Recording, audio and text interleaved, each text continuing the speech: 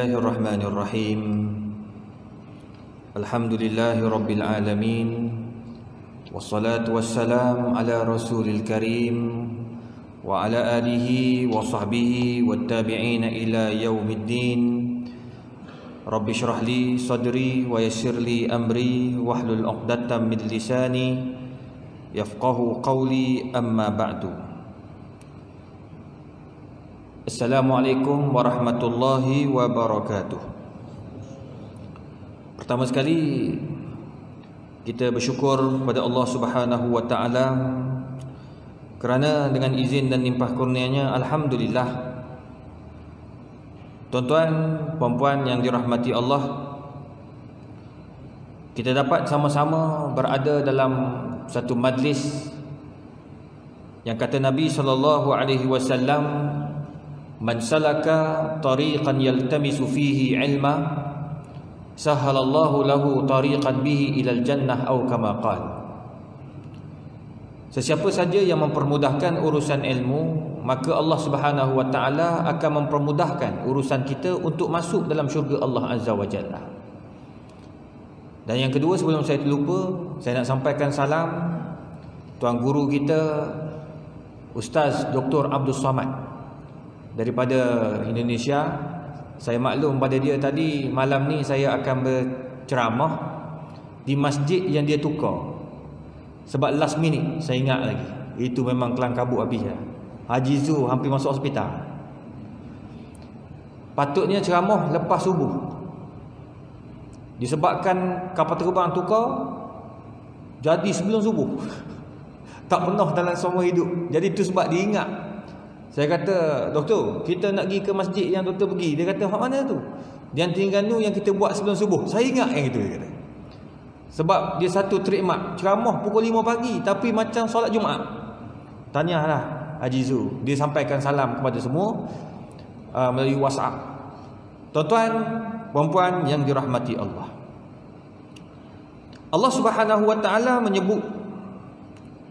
Di dalam Al-Quran. Ba'da a'udzu billahi minasyaitonir rajim Afahasibtum annama khalaqnakum abasa Wahai manusia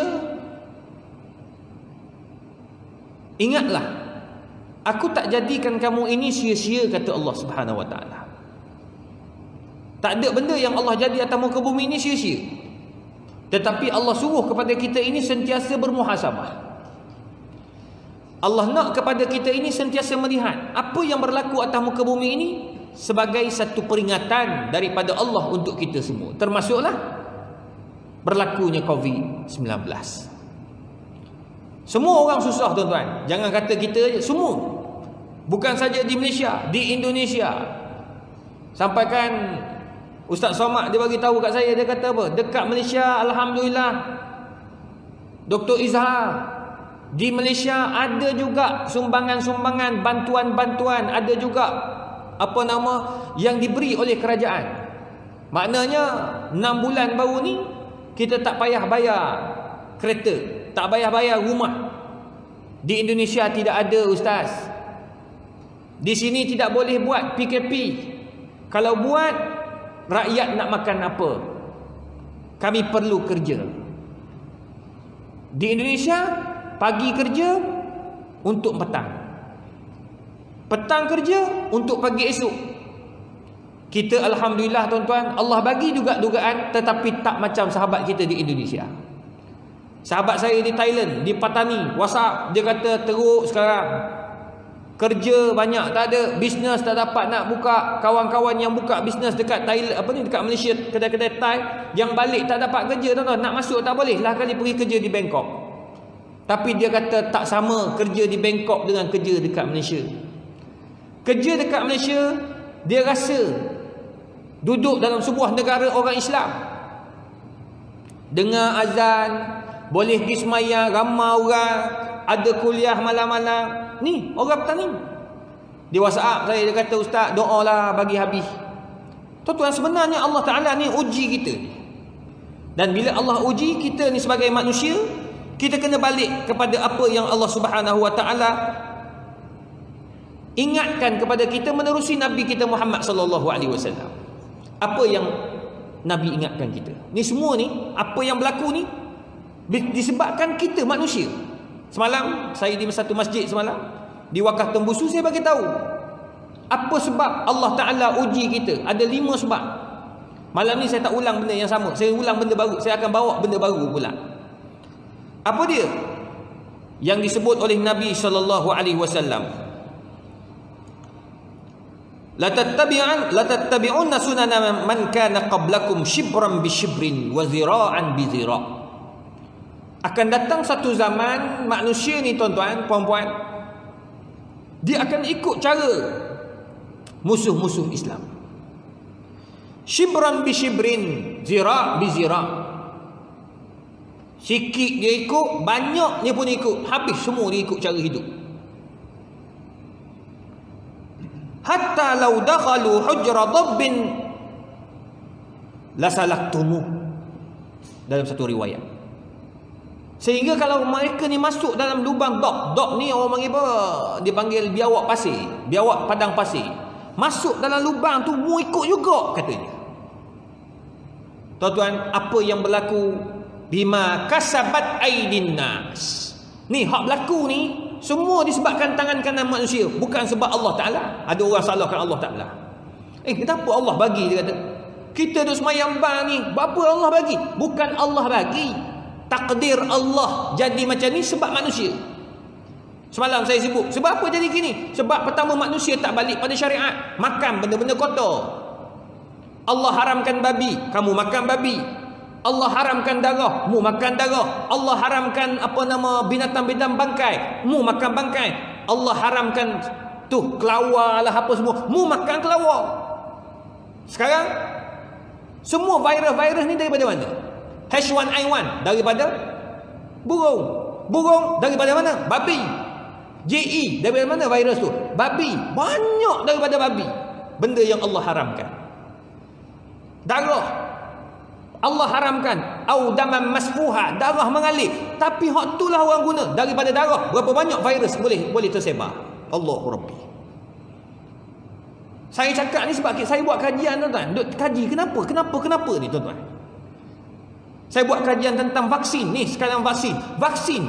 Allah haramkan kita haramkan daripada babi. Sebagai contoh. Dia tak banyak vaksin yang ada babi ni tak ada sebenarnya. Tapi benda daripada bahan syubhah. Itu isu dia. Lepas tu kita tengah buat kajian ni base.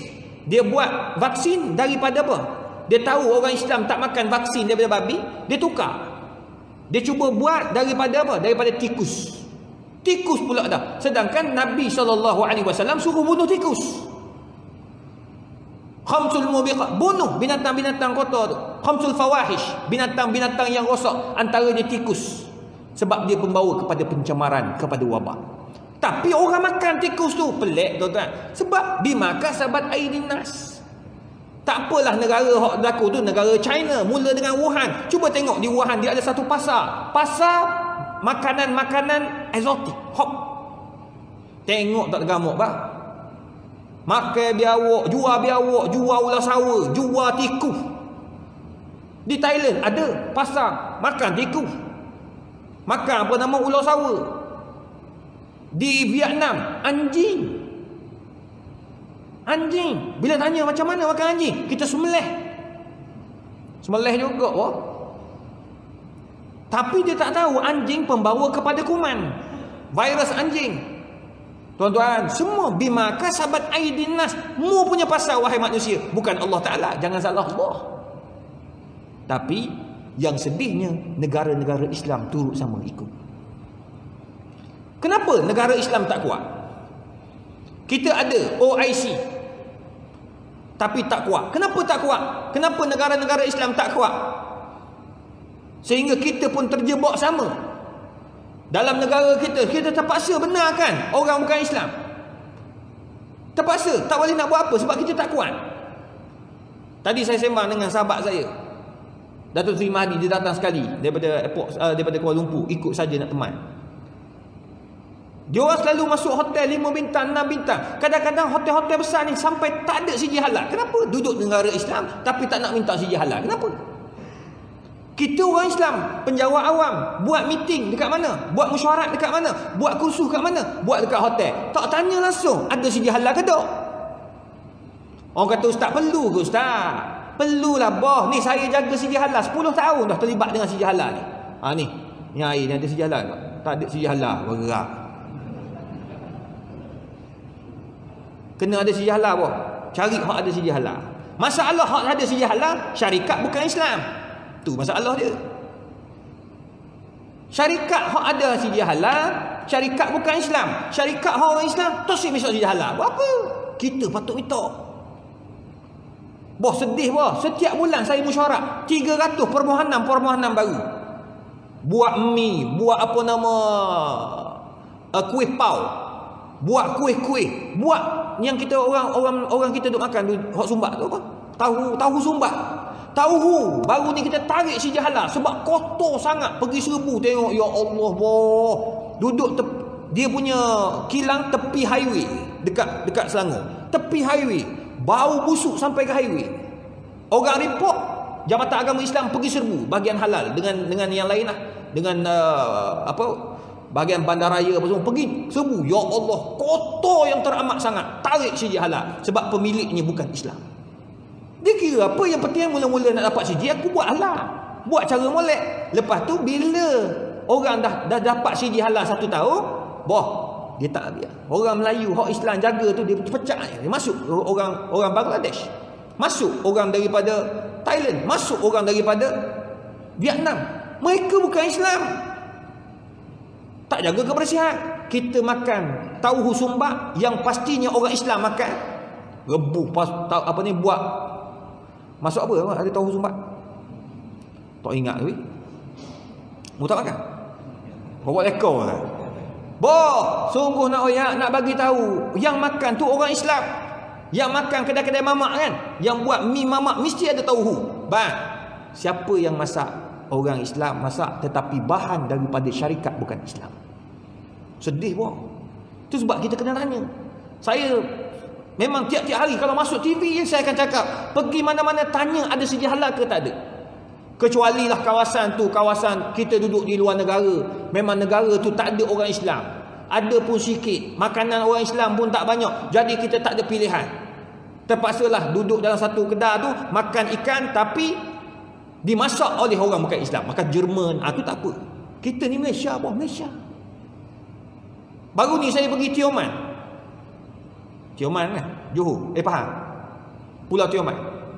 Boh, kita ni saya duduk kat Tioman cari restoran Islam. Tak ada boh. Ada satu tutup. Ada selagi terus tak buka.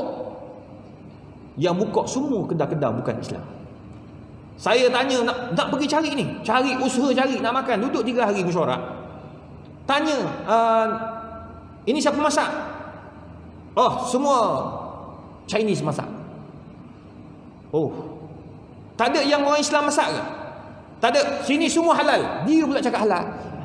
Aku pun confused. Bila masa mu tahu tak kau dia halal tu? Aduh, pening boh. Takkan tiga hari nak makan Maggi. Tengah pula, tak ada lauk. Nak balik tu sejam boh. Nak pergi ke ke ke Mersing tu. Allah sedih. Wah, kita ni di mana ni? Di Malaysia ke di negara China? Itu sebabnya tuan-tuan. Kenapa kita jadi macam ni? Kita tak kuat. Negara-negara Islam lain tak kuat. Sampai kadang-kadang orang Islam kita, orang Arab ikut cara orang bukan Islam. Sedih, boh, sedih, sedih. Sedih.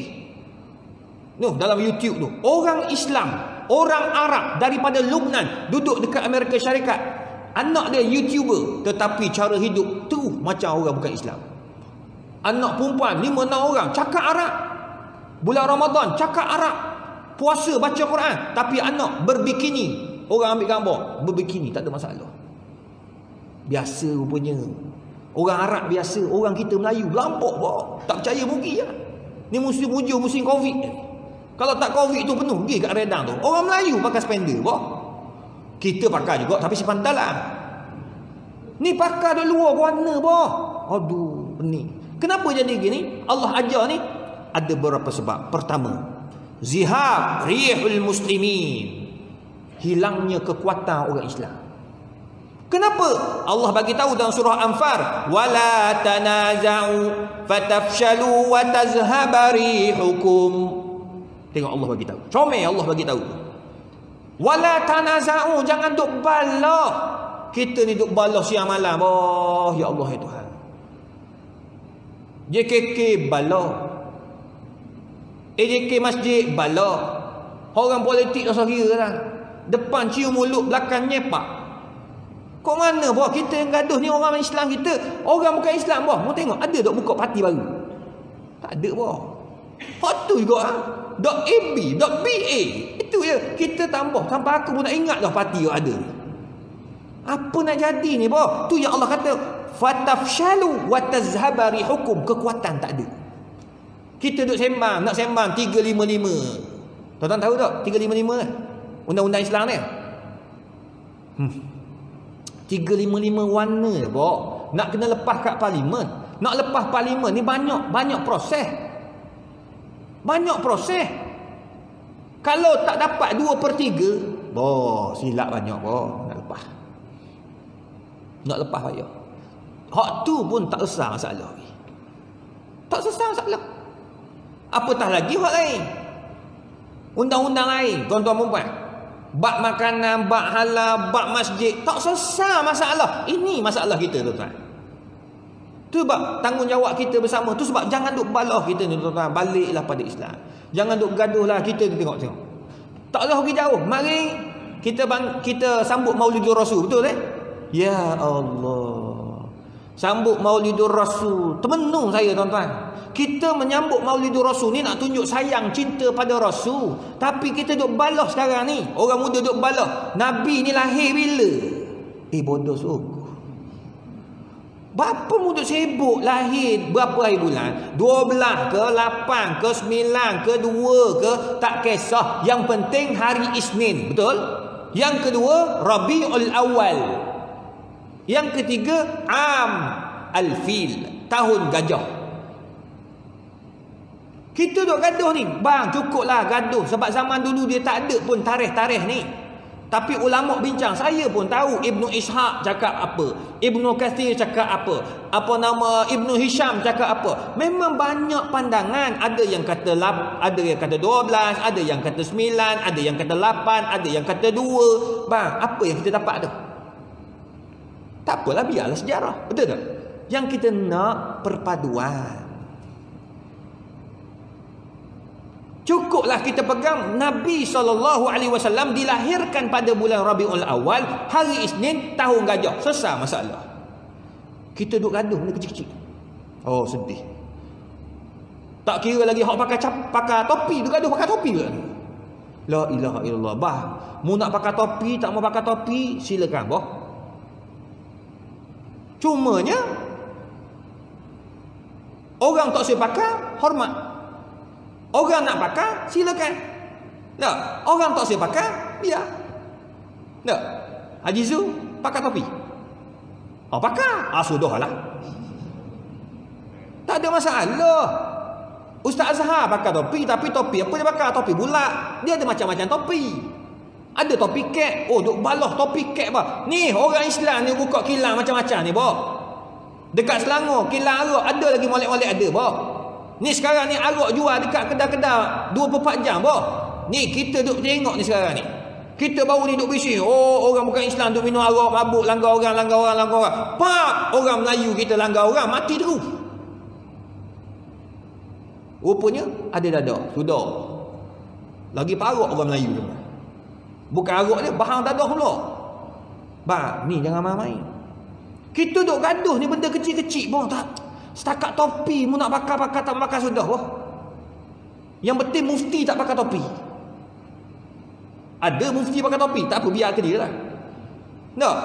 Sebab benda tu bukan benda haram. Nak pakai-pakai tak pakai tak apa. Cuma jaga warak je. Nampak tak? Tapi kita ni tuan-tuan tak. Imam Abu Hanifah An-Nu'man. Imam Abu Hanifah. Imam Abu Hanifah ni orang alim.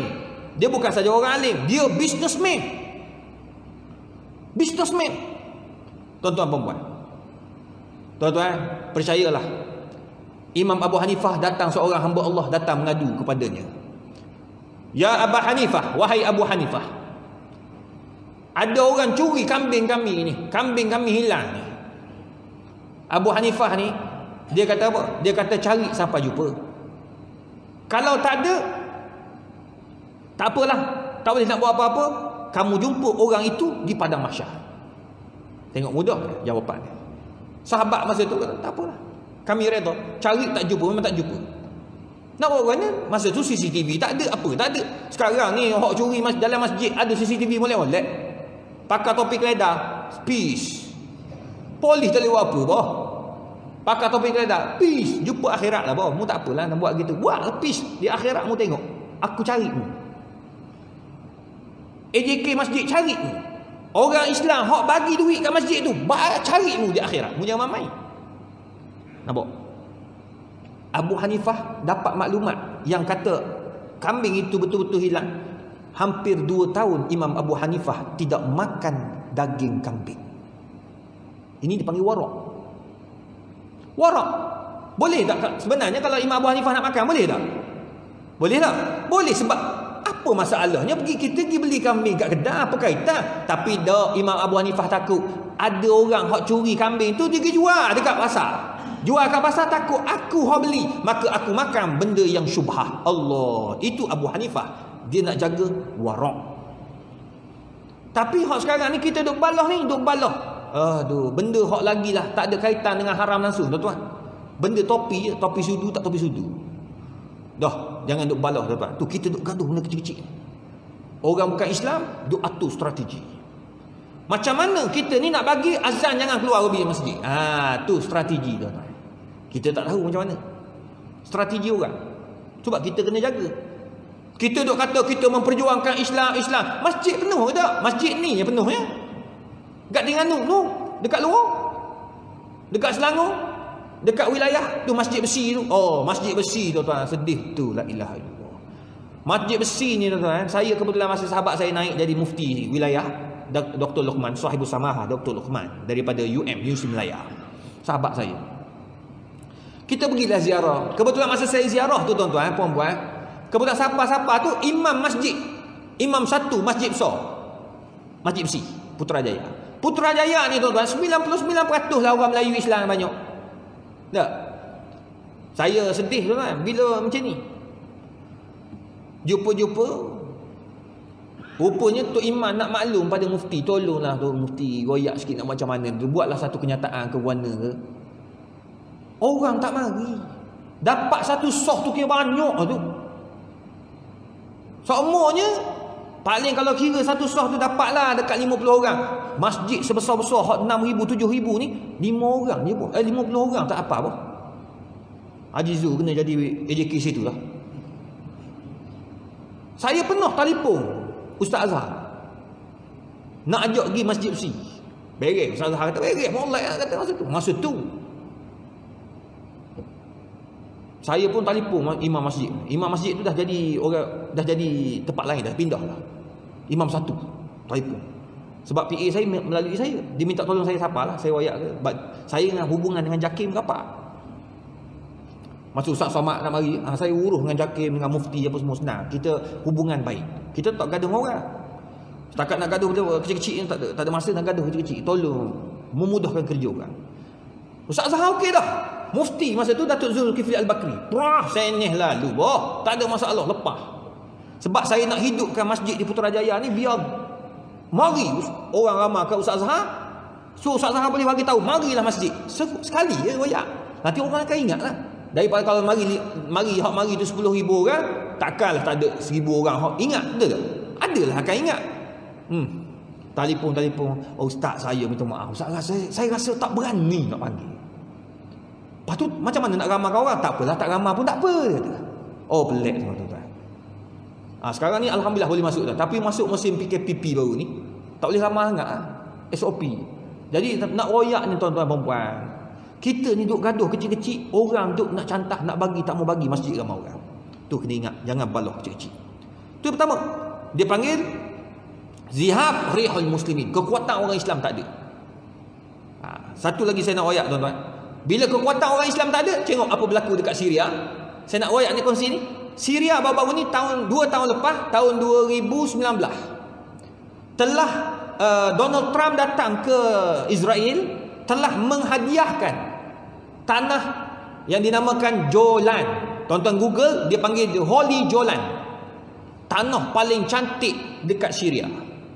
Tuan-tuan, dia siap bagi watikah macam hak dapat dapat pingat apa semua tu ada watikah tuanku itu dia bersatu tulis dia, dia tanda tangan atas tu dia menyerahkan tanah jualan milik Syria kepada Israel. Siapa mu ni? Saya kebetulan masa tu ada di Palestin.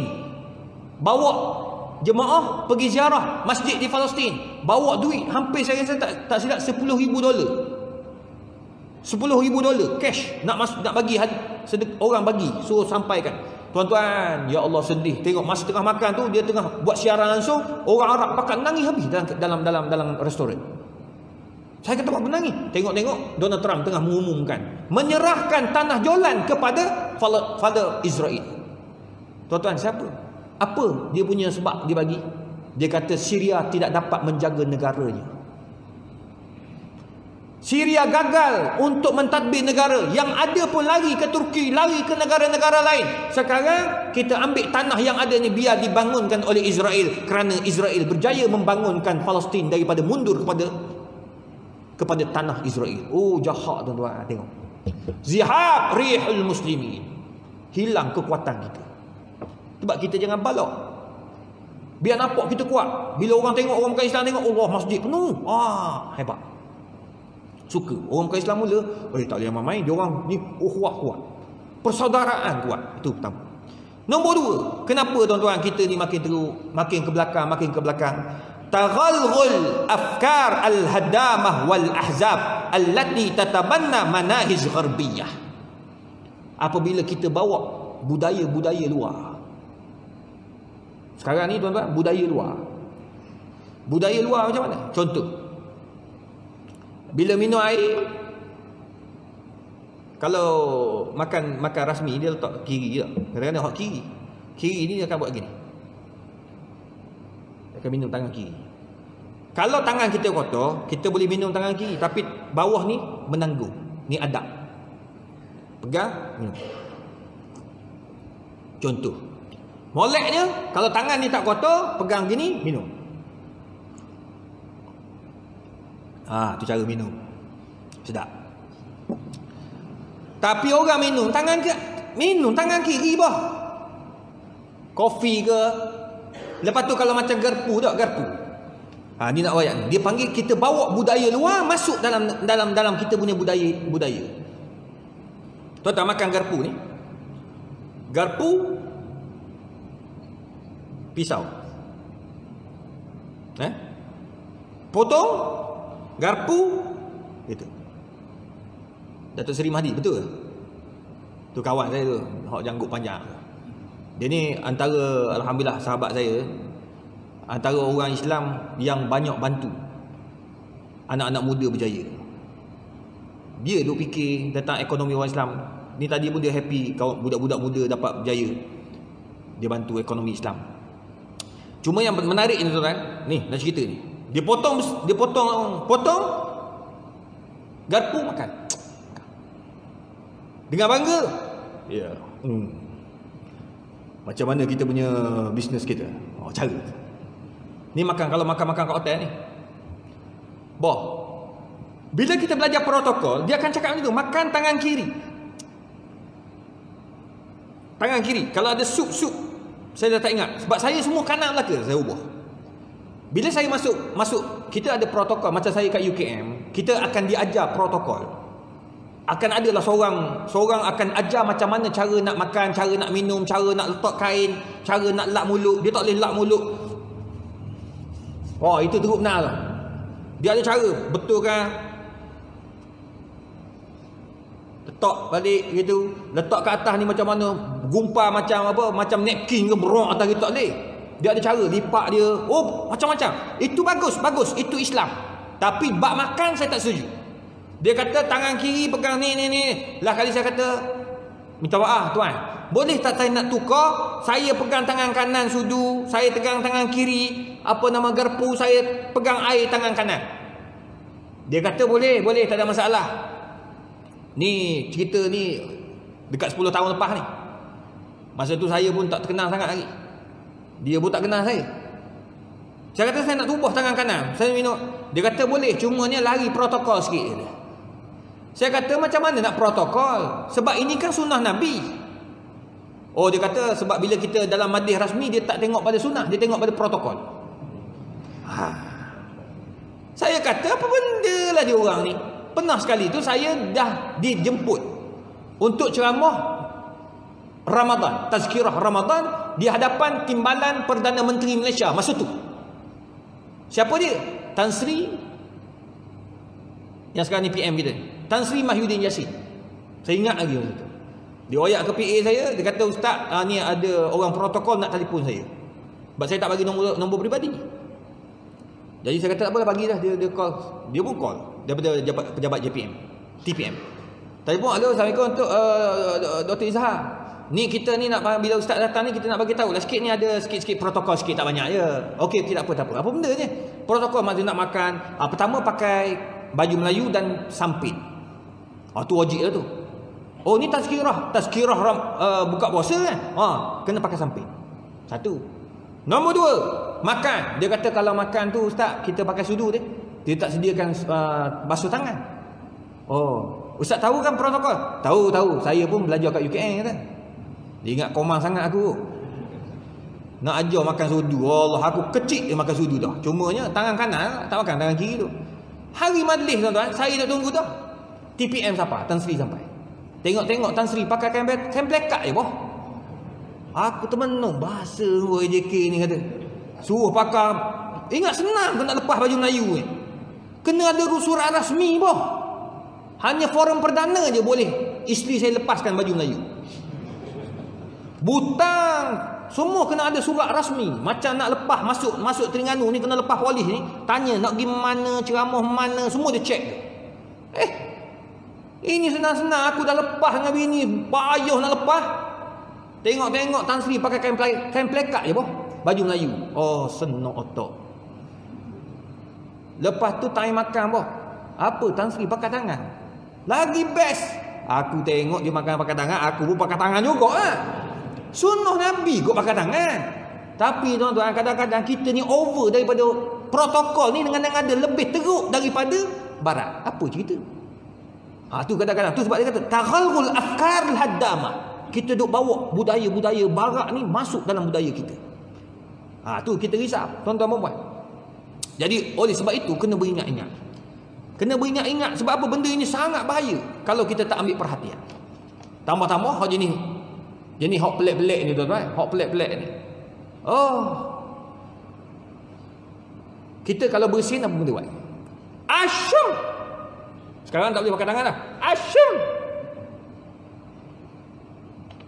Cakap apa? Ha? Saya asyum. Alhamdulillah. Saya sepatutnya gitu. Tapi dia bawa hok luar. Asyum. Excuse me. Bagus excuse me tu. Minta maaf. Tapi alhamdulillah lah. Asyuk alhamdulillah. Excuse me. Tak salah kan? Tak salah benda baik. Cuma tak buatlah hak sunnah Nabi ni.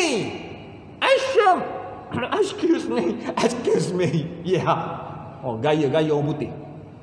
Oh, bengak dek. Tengok makan bodoh oh, cemang. Excuse me, excuse me bodoh. Faham? Alhamdulillah. Kita hak dengar ni patutnya yarhamkallah. Jawablah. Tu sunnah Nabi. Hak kita hak dengar dia jawab ke kita dia doa, doa kita kita pun doa. Yahdikumullah yuslihu balakum. So, comel kan tu. Tapi kita tak bawa sunnah tu. Ni sedih kita. Sebab dia bawa benda-benda yang hak tak boleh. Tu dua. Sebelum saya masuk nombor tiga, tuan-tuan ada sedikit pengumuman. Masjid Padang Mengkuang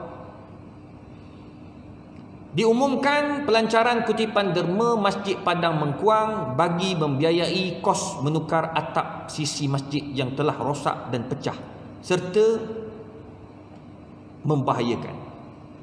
Kos adalah 5300 dan masih berbaki 3300. Tuan-tuan, sila gerakkan tungtung berhampiran muslimin dan muslimat. Ada tung? Mana tu? Ah. Mari, saya nak bagi sikit.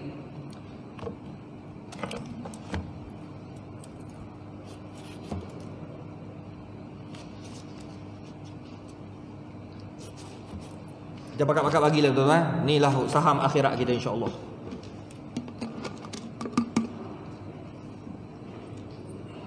Okey, pakat-pakat bagi. Tuan-tuan perempuan, kita ni nak bantu-bantu, kita nak bantu banyak, kita tak mampu. Kita bantu apa yang kita ada. Sekurang-kurangnya tuan-tuan, apa yang kita infak hari ini pertama yang kata Nabi sallallahu alaihi wasallam dawu mardakum bis sadaqat. Tadi pun saya sebut dekat dekat khutbah. Covid ni penyakit. Nak ubati penyakit banyakkan bersedekah kata Nabi sallallahu alaihi wasallam. Ni kita bukan sedekah, kita wakaf lagi. Tuan-tuan masa masuk dalam tabung tu terus berdoa. Ya Allah, selamatkan aku ya Allah. Selamatkan keluarga aku ya Allah. Selamatkan taman aku dan kampung aku daripada wabak Covid insya-Allah. Itu yang diajar oleh para ulama. Kita pakat-pakatlah, kita pakat-pakat bantu. Insya-Allah Allah Taala pemurahkan urusan tuan-tuan. Kita tak tahu dah nak mantak dengan siapa tuan-tuan. Nak minta dengan siapa? Minta dengan Perdana Menteri. Dia pun pening dah. Tak tahu nak cakap apa dah. Covid ni bertambah naik naik naik. Hari ni 150 Allah sedihnya tuan-tuan. Selangor. Nah, nak cakap pada ketua pengarah Tan Sri. Nak nak Nur Hisham, nak bagi tahu kat dia. Dia pun tak cukup tidur sekarang ni. Dia pun dah oyak kata pening dah, tak tahu. Ha. Sekarang ni nak cakap siapa lagi? Cakaplah dengan Allah Taala. Wa idza sta'anta fasta'in billah wa idza sa'alta fas'alillah. Bila ada nak minta tolong, nak minta, mintalah dengan Allah. Jadi kita nak minta doa, selain daripada minta doa, masa kita bagi amalan tu, kita ber, bertawassul dengan amalan soleh. Apa dia? Kita memberi, Ya Allah, tolonglah Ya Allah, selamatlah keluarga aku. Saya tahu tuan-tuan perempuan, anak-anak ada kat Kuala Lumpur, ada kat Selangor. Biarlah mereka selamat tuan-tuan. Itulah cara dia. Tak boleh bagi apa yang kita ada. Bagi ketika ada, itu namanya kita ingat. Kita ada. Bila kita uh, kita ingat, bila kita bagi lebih itu tandanya kita berada alhamdulillah. Tuan-tuan membuat itu nombor dua. Sebab apa kita jadi rosak? Kerana kita ini membawa budaya-budaya yang tidak molek dalam kehidupan. Ataupun budaya-budaya barat. Yang ketiga, tuan-tuan yang dikasih sekalian, kenapa kita ni makin ke belakang? Orang Islam makin tak kuat. Sehingga kita ni jadi tak jadi hina sangat dalam negara-negara seluruh dunia tuan-tuan. Saya kenapa saya cakap gitu? Tuan-tuan cuba tanya, cuba cuba cek balik dalam dalam apa dalam geografi ataupun dalam peta Malaysia, negara uh, peta dunia. Negara Islam mana yang boleh menjadikan kita bangga? Negara mana? Tuan-tuan pergi Pakistan. Oh, kotor tuan-tuan. Islam tapi negara paling kotor Tuan-tuan pergi negara Arab sama juga. Tuan-tuan tak payah pergi jauh Mekah. Tempat yang orang Islam datang berjuta-juta setiap tahun tetapi negara paling kotor. Sampah di mana-mana tuan-tuan. Apa yang kita boleh banggakan ekonomi dia sama juga. Tak maju-maju. Tapi kalau tuan-tuan pergi New Zealand oh negara bukan Islam tapi pemikiran Masya Allah macam orang Islam. Tuan-tuan pergi Jepun. Jepun tuan-tuan tuan-tuan tertinggal ni handphone ni. Ni. iPhone 10. Tertinggal kat mana? Tertinggal dekat tempat duduk awam dekat taman. Tertinggal. Tuan-tuan naik bas sampai tengok alamak aku punya handphone tertinggal. Patah balik, molek-molek benda tu duduk di atas kerusi. Ha. Bersih tak usah cakap lah tuan-tuan. Kebetulan saya kami UKM ada dekat Jepun. Bukan UKM uh, UKM kat Jepun, UKM Jepun dipanggil uh, apa nama? Uh, Institute Islam Hadari UKM. Ada kat Jepun. Jadi kita selalu datang bertukar-tukar profesor. Profesor di Malaysia pergi ke Jepun, Jepun mari ke Malaysia. Hak mari ke Malaysia bukan Islam, oh, bukan Islam, tapi cakap tentang tamadun Islam. Dia cakap Inggeris tak pasal mana? Ha tu kadang-kadang kita ni over. Pergi pergi belajar 4 tahun di di UK, US, balik-balik. Uh, excuse me. Where uh, shop for uh, lesung, lesung, lesung, lesung. Apa tu? Oh, engkau pun tak faham. Kopok lesung. Lesung. Losong kerpuk. Oh, cemas sungguh. Eh, tak boleh cakap Melayu. Oh, lidah, my tongue is very, very, oh, my tongue, orang putih sikit. Sepak muka tu teruk. Aduh, sakit, weh. Ha, bunyi. Bunyi Terengganu dia lepas tu. Bang. Orang Jepun tak reti cakap Inggeris. Cakap sikit-sikit je tapi maju. Saya bulan mari tu, dia mari makan, kita dia, dia mari lepas conference datang makan. So kita jamu dia makan makan seafood. Orang dia suka makan seafood. Jadi bila makan seafood tu tuan, uh, seorang uh, uh, apa nama Prof Prof Tang ke Akinawo, tak ingatlah. Tapi duduk tepi perempuan. Perempuan. Bukan Islam eh. Dia tahu dia datang Malaysia negara Islam tapi dia hormat. Dia ambil apa tau? Dia ambil uh, macam uh, selendang, selendang dia tutup gitu.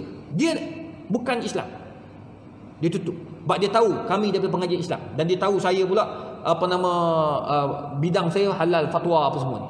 Dia pun tutup gitu. Semua seafood dah siap nak makan, tiba-tiba tuan-tuan, tiba-tiba eh dia bangun, dia bangun-bangun rupanya tuan-tuan ada Ha gitu. Contoh, contoh. Ha gitu. Ada besar ni. Warna kuning yang dia, dia ambil tu warna warna pink, warna pink. Tisu warna pink duduk dekat bawah lantai. Dia ambil ni tuan-tuan, dia ambil ambil dia lipat dia letak dalam poket dia. Allah. Tuan-tuan. Nak katanya budaya dia nampak sampah kutip. Tu sebab tuan-tuan pergi ke Jepun, tuan-tuan tak jumpa sampah budaya dikulturkan apa yang ada dalam Islam kita oh jangan pergi jauh bawa pergi jambang masjid pada tak berok sendiri pun tak cuci pun oh jijik sungguh tarik kalau comel tak apa wudu bang tu tarik ni masjid bro eh kadang-kadang sampai kalau kita tanya saya cakap ni sebab kita buat kajian tuan-tuan Tanya orang, kita buat kajian, buat rawak. Ni musim Covid kita tanya, apa kesan pada masjid? Apa kesan pada jemaah? Saya hantar di Terengganu. Terengganu alhamdulillah antara yang jawab banyak. Eh, Selangor 2000 orang jawab, AJK jawab, semua orang jawab. Kelantan paling sikit.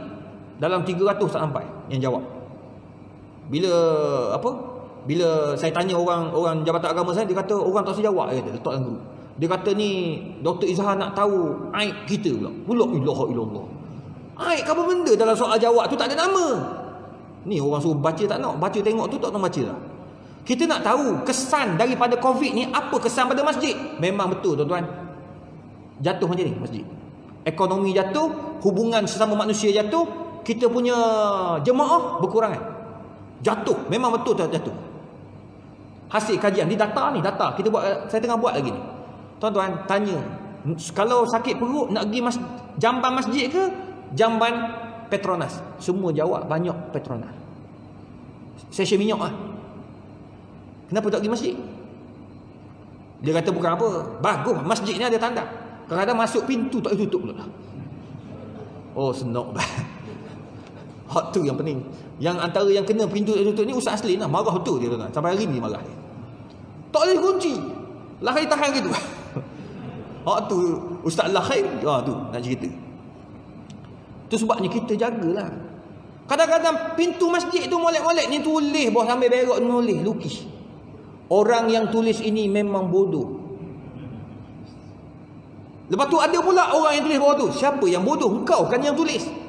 Pakat jawab pula. Dah jadi soal jawab pula kat pintu tu. Apa ni tuan-tuan? Jepun tak ada bawah. Malu kita. Tu Jepun. Oleh sebab itu tuan-tuan. Kita ni sebenarnya kenapa? kita jauh daripada syariat Islam. Ha, tu nombor tiga. Iqsa syariah minal hukum wa tamhihuha minal waqi' Kita jauh daripada syariat. Kita ni buat pakai tudung sebab apa? Kenapa pakai tudung? Saya pakai tudung sebab Nialofa buat tudung. Hmm. Ni sekarang ni Nialofa pakai nikah. Habis. Laki pun pakai. Wah. Kau mana ni? Bah, kita pakai tudung sebab apa? Betul tak makcik? Oh makcik. Makcik. Tengok. Pakai tudung, pakai nikah sebab apa? Kerana Allah. Aku pakai tudung sebab nak tutup aurat. Ini arahan Allah, benda wajib. Kenapa pakai nikah? Saya pakai nikah sebab ia merupakan benda yang digalakkan dalam Islam. Dia bukan wajib tapi benda digalakkan untuk lari daripada fitnah. Antara yang fatwakan perkara ini adalah Dr. Sa'id Ramadan Al-Buti dalam bukunya Fit Ma'annas. Dia sebut sebab apa? Akhirul zaman, manusia di akhir zaman. Tapi yang paling penting tutup aurat dulu. Jangan tiba-tiba orang tu tak tutup aurat, pakai purdah, pitam orang dua tu tuan. Dan sekarang orang pakai tudung, pakai jubah, pakai apa? Sebab apa? Orang pakai. Jangan pakai sebab Allah Taala suruh. Kita ni banyak sangat duk ikut budaya, budaya, budaya dan akhirnya kita tidak ikut syariat yang Allah Taala tetapkan. Tu nombor tiga. Nombor empat, kenapa kita makin ke belakang? Sehingga Allah Taala uji kita dengan macam-macam dugaan ini. Al-hazimah an-nafsiyah amamal a'da. Ya Allah ya Tuhan.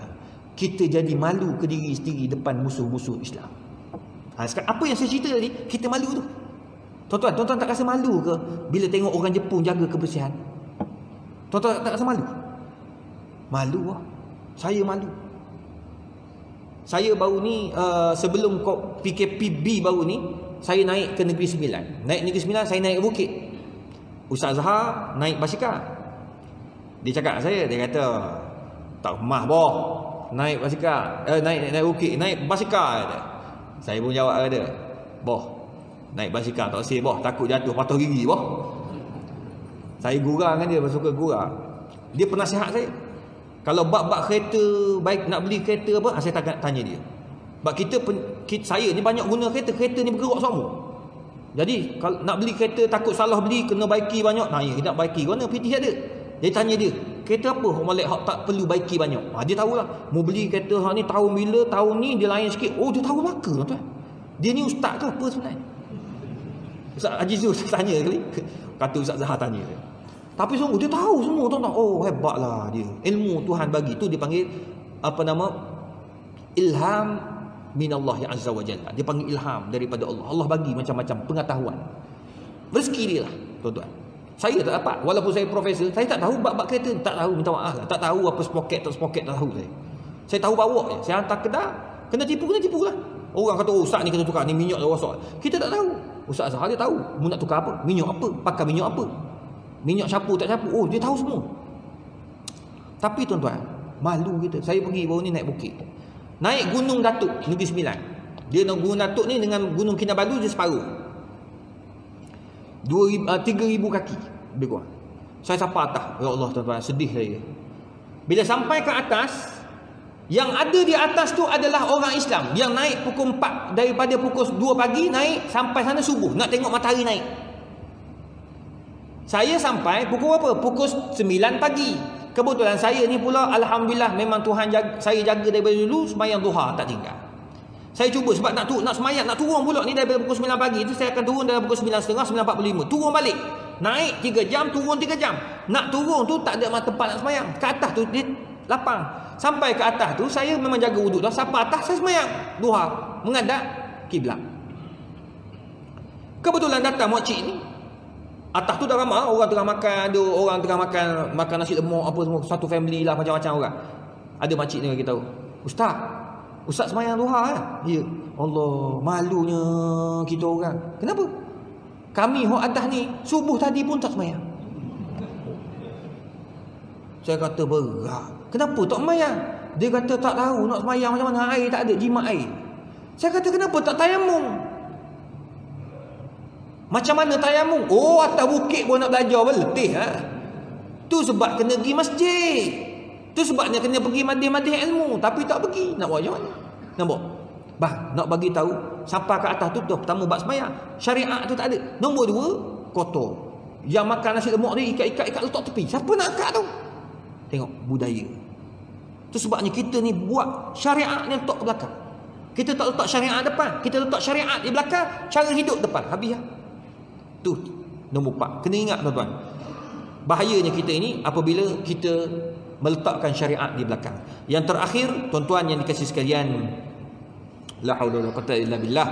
Zuhur ba'du syakhsiyat al-qiyadiyah allati laha dawruha fil mujtama' wa qiyamuha bitanfizi mukhattatat al-a'da al-islami. Allahu rabbi. La haula wala quwwata illa billah. Takutnya tuan-tuan akan ada yang kelima yang terakhir ni kenapa wasoknya kita ni makin jauh daripada Islam makin jauh daripada syariat Islam makin teruk kita punya perangai ni orang Islam ni apabila ada pemimpin-pemimpin yang pemikiran mereka bukan nak membantu Islam tetapi arada an yahdumu Islam an yahdimu Islam. Dia nak jatuhkan Islam. Oh tu bahaya. Nauzubillah. Dia pula pertikah. Nak buat apa buat wudu? Ni nak buat apa undang-undang Islam ni? Undang-undang siber ada tak? Ha. Ni kenapa kita nak sekat ni apa ni uh, yang yang lembut-lembut ni panggil apa pondan-pondan Kenapa? Itu hak asasi dia. Biarkan dia. Bang, tak boleh bang. Dia pembawa, dia virus. Virus. Itu sebab Imam Syafi'i dia ajar macam mana? Nak didik anak yang dipanggil lembut-lembut ni, nak elak anak daripada lembut, macam mana cara nak buat?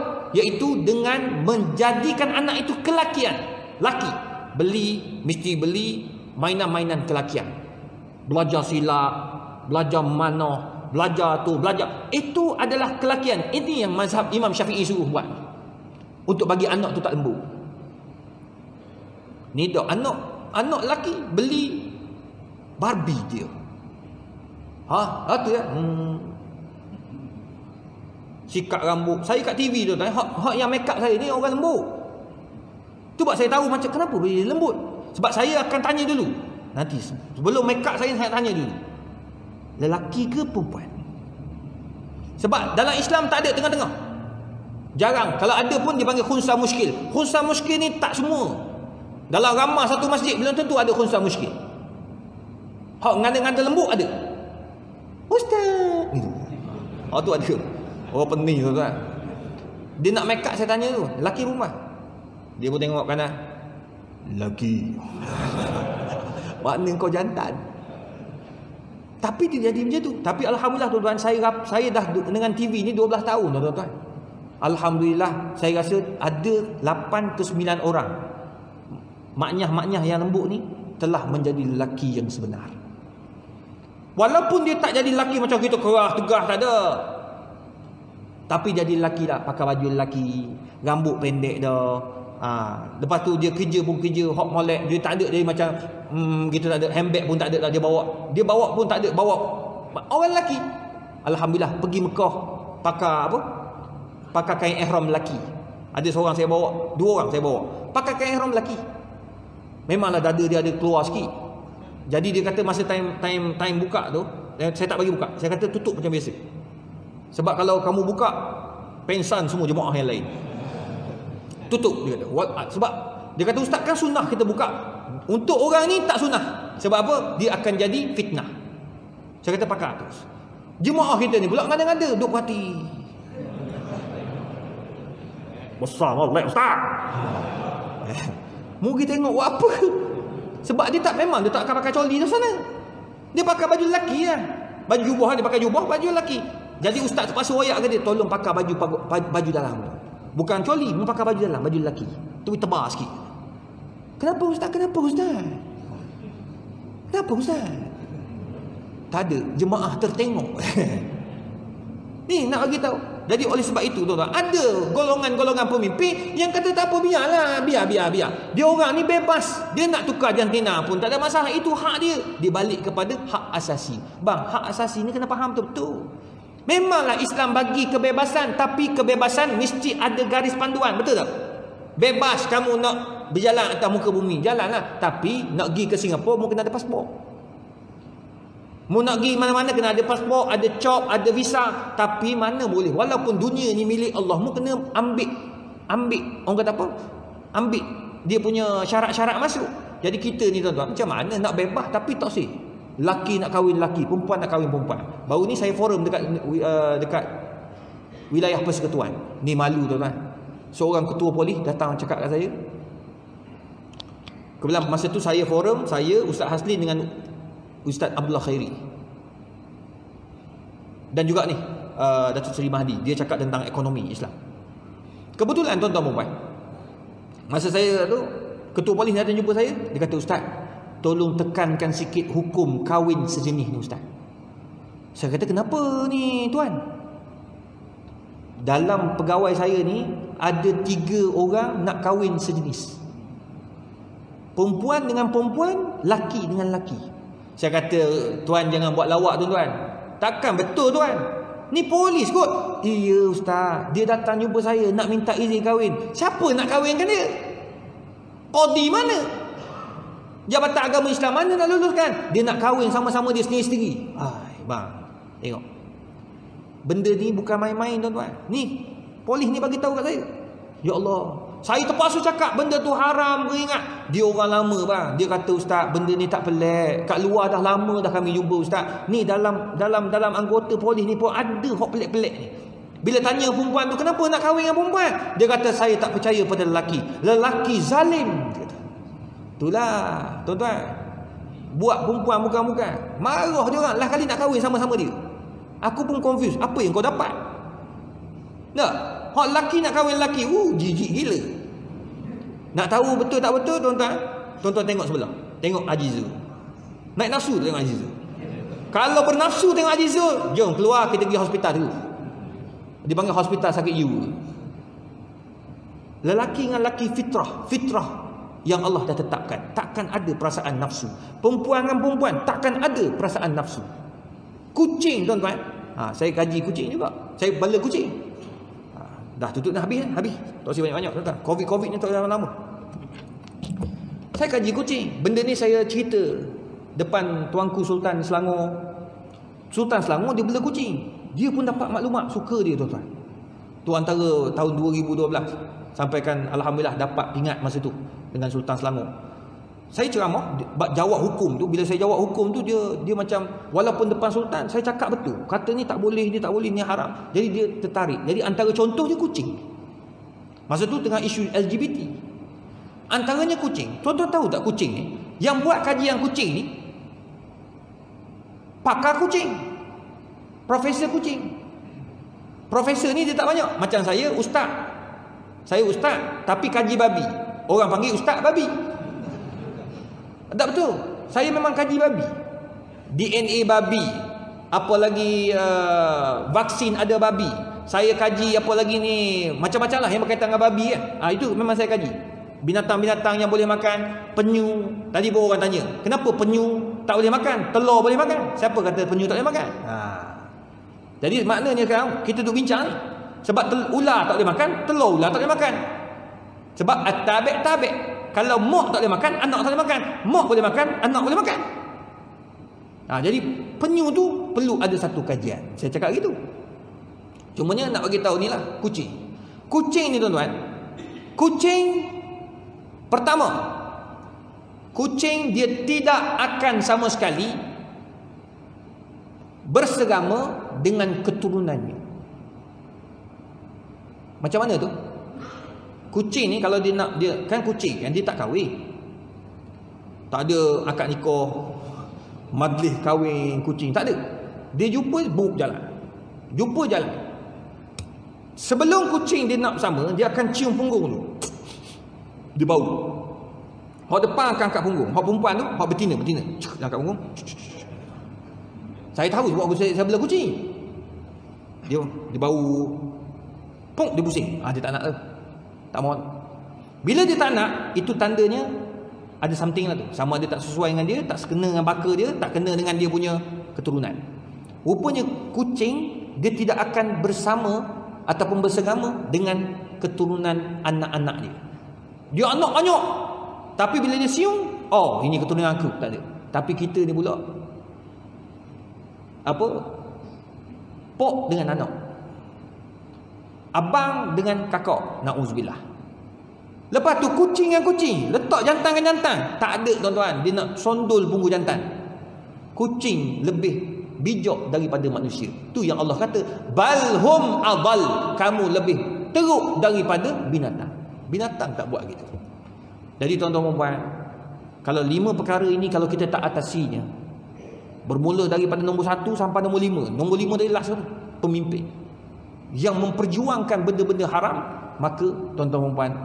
Fantazirus sa'ah. Tunggulah kepada kehancuran iaitu berlakunya kiamat nauzubillah tuan-tuan puan semoga Allah Taala selamatkan kita tuan-tuan puan manfaatkanlah masjid dan tempat ibadat yang tuan-tuan ada di Terengganu saya bukan nak muji tuan-tuan tapi Terengganu antara tempat yang baik untuk belajar kawan-kawan saya ramai daripada Terengganu ahli-ahli semua tuan-tuan.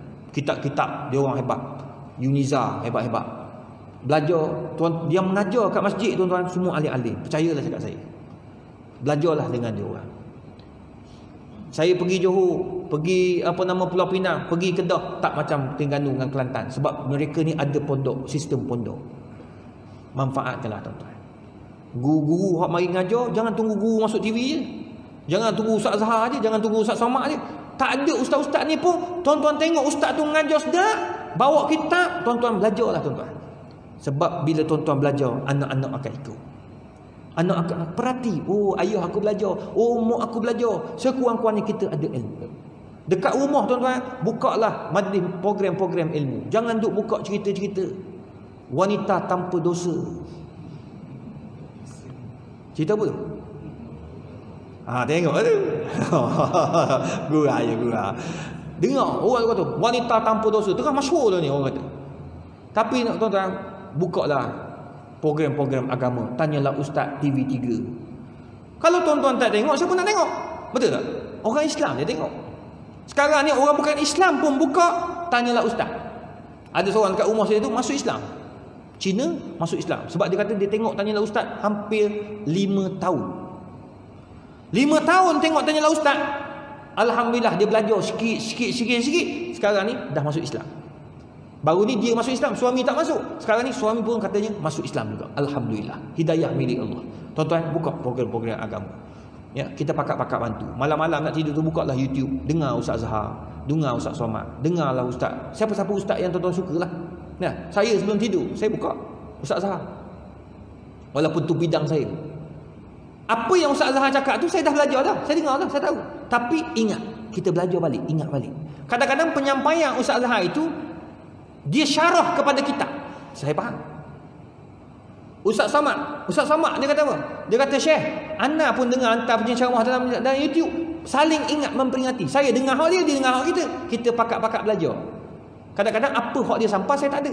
Apa yang saya cakap dia tak ada. Kita pakat-pakat kongsi. Tak boleh nak kata aku pandai, mu pandai, aku seorang pandai, tak boleh. Ilmu tu luah. Jadi manfaatkanlah tuan-tuan. Apa yang ada bersyukurlah dengan apa yang ada.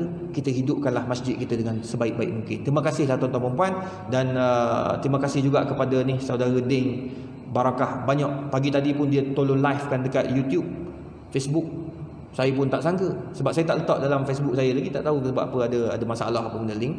Tapi tak apalah pagi tadi saya subuh tadi pun 12900 orang. Tengok pagi tu. Sejam lah pagi tadi subuh. Ha, ni saya tak tahu berapa. Harap-harap selalunya ramai lah. Sebab saya punya follower pun dekat tu Alhamdulillah tak ramai mana. 600 ribu je. Campur dengan YouTube sejuta. Jadi Alhamdulillah kita pakat-pakat kongsi lah tuan-tuan. Terima kasih kepada Din. Dan Din ni pula tuan-tuan dan dia memang antara orang uh, yang bawa ustaz-ustaz. Dan antaranya dia juga jual uh, produk-produk hot dia sendirilah dia jual kismis uh, kismis tu ialah kismis lah untuk makan lah Lepas tu dia jual minyak wangi. Jadi tuan-tuan puan, kita tolonglah orang Islam kita punya bisnes. Tak salah tuan-tuan, kita tolong orang Islam kita punya bisnes, kita untuk bantu dia orang. Sekurang duit tu dia guna juga untuk dia bawa ustaz-ustaz, dia bom minyak ke apa semua. Kita bantu, pakat-pakat bantu. Jangan kita duk rasa, ah, tolong orang ni susah. Saya tak ada satu sen. Dapat satu sen persen pun tak ada. Saya tolong je. Mana tolong wawarkan selagi budak-budak tu dapat makan, dia tak minta sedekah, tak ya ta'affaf baina aidin nas, tak minta-minta dengan manusia, itu lebih baik. Lebih baik kita tolong mereka ini kaya daripada kita membiarkan mereka itu jatuh miskin. Semoga Allah Taala merahmati kita dan uh, saudara Ding buka kat mana? Bus minyak wangi pun. Ha, dia bau uh, dia ada bau uh, apa bau macam Mekah sikitlah, Mekah Madinah sikit. Harga pun tak mahal, dia murah-murah dia jual tu. Jadi tuan-tuan puan, semoga Allah Taala merahmati kita. Maafkan saya kalau ada salah dan silap dan tahniah kepada tuan-tuan sebab wakafkan Al-Quran apa nama? Kapet ni 60,000 ya nilai dia. Ni duit tuan-tuan puan, insya-Allah tuan-tuan puan akan jumpa kapet ni balik di padang mahsyar. Inilah yang akan bantu kita masuk syurga Allah Subhanahu wa taala. Auzubillahi minasyaitonir rajim bismillahirrahmanirrahim. Alhamdulillahirabbil alamin wassalatu wassalam ala rasulil karim wa ala alihi wa sahbihi ajmain. Allahumma faqihna fid din wa 'allimna at-ta'wil. Allahumma yassir wa la tu'assir ya mujibad da'wat wa sallallahu ala sayyidina Muhammad wa ala alihi wa sahbihi wa sallam. Taqabbalallahu minna wa minkum. Taqabbal ya karim